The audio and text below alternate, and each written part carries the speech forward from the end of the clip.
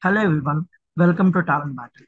In this video, we will solve TCS NQT specific previous year questions. So like, comment, subscribe and share our channel if you are looking more such content.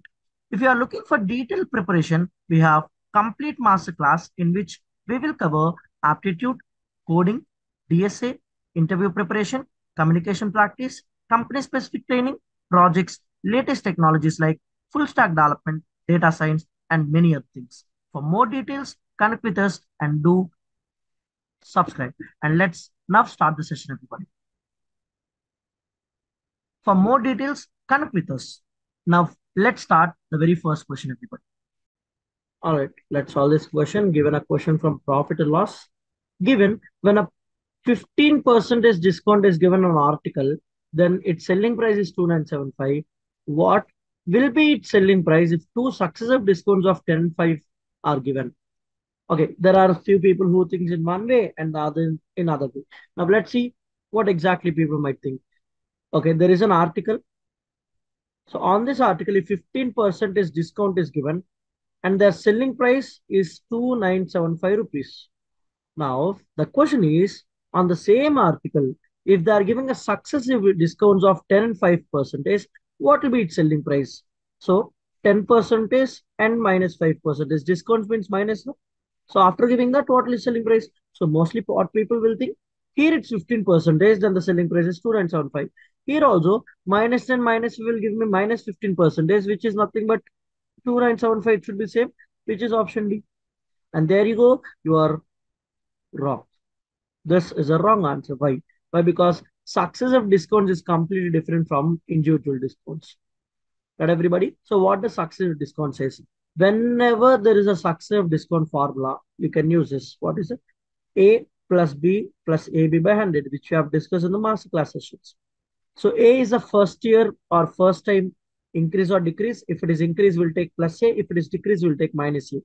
Similarly, B is the second second time or the second year. So here A is minus 10, B is minus 5 because first year is discount of minus 10.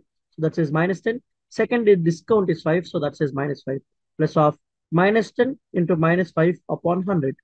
That's going to give me how much everybody? Minus 15 and plus of because minus and minus gets cancelled. That's going to give me 1.5. So minus 15 plus 0.5 will give you how much everybody? Minus 14.5 discount. See, if it is single discount, it's giving you a 15% discount. But if it is a successive discount, it is less than that. So when the discount is less than that, everybody, when the discount is less, the selling price will be more than the previous price, everybody. The previous is 2975. So it should be definitely more uh, less than it, the new price. Right? So since the discount is less, the new price should be more than this. If you observe, 2975 is not at all the right answer because 2975 is not possible because there is a less discount. So if you observe, all are above 2975 only, but what should be it? Look, first discount is 15 percentage. Second discount is minus 14.5, which is very close to 2975, everybody. So the price is also very closely high to 2975. Right, everybody? So that's going to be option C, which is very close. That is 2992. If you want, like, you can ask me, sir, what about A also, which is also very close. The only difference is somewhere around 13 like that. Yeah, we can check if you want it.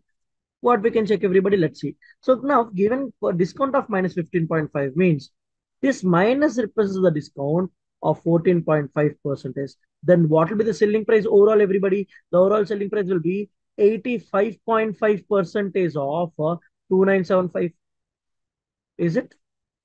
I know you'll take the same. If you take 85.2975, again, you'll get a wrong answer. Why?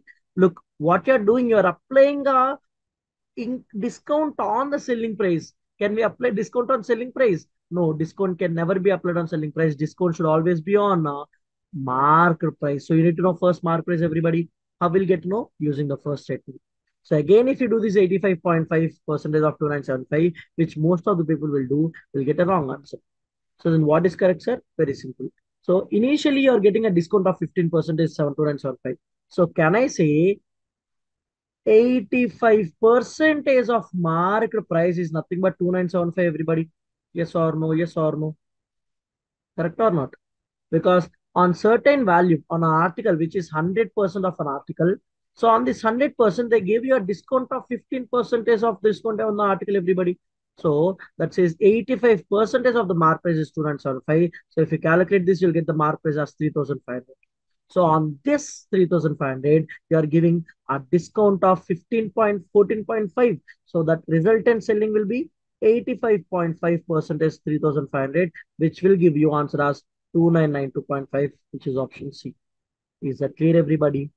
So don't do such mistakes, guys. So for you only, uh, it's been uh, delivered. So how? You have to first find the successive discount. How much is the overall?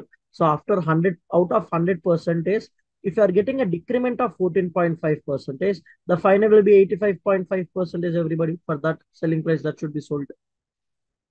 Correct? So 85% of 85.5 percent of what? Of the mark price. So the mark price is find out using the first given statement. That's how you can solve this question. Right, everybody? Hope you understood this. Moving on to the next one. Okay, I can definitely say everybody can answer this. You just try it by pausing the video if you want it. Now, I hope you tried it by pausing the video. If done, I'll tell you how exactly you solve it. Look, the question is very simple, but the main point is how exactly do you answer this question? I know there are many people who started from the first and to the last and then started reading the question, but that's purely, purely waste of time because you have only one question. No, when you have one question, why do you read everything? Is it required? Are you getting any uh, additional marks for answering one question? No. So first we'll go with our very, very lovable approach that is hunter approach. We have already discussed this multiple times and many people love this, right? So what is this hunter? We hunt for the question. So the question we read first. We never read the given data, everybody. So the question says, why is it surprising that Royal Bengal tigers can run fast and climb trees? Tigers that can run fast and climb trees, why? So I don't read everything, everybody. I skim through the process or the through the paragraph and find out only where this running fast and climbing trees will be there. Now, if you just go through, skimming is just nothing but going through everybody, where you'll find this. Now, if you observe here, over here, tigers can run at a speed of 60 kilometers per hour and also climb trees. Now, people, what where the reason will be either in the front answer or either in the front sentence or in the like next sentence. Now, is it required to read this everything now, everybody? No, it's simply waste of time. If there's any question, we'll read. For that also, they'll provide another data. Then why to waste time by reading the question which is unnecessary, by reading the data which is unnecessary or not required. So now let's stop this. We have saved a lot of time, everybody, by not reading this, by not understanding this. So it is not required. Now let's see this. Despite its heavy body, okay, here itself there is respect before. Before this, despite its heavy body, this tiger, what tiger, everybody? The Royal Bengal tiger. The Royal, this tiger. They are talking about the Royal Bengal tiger only.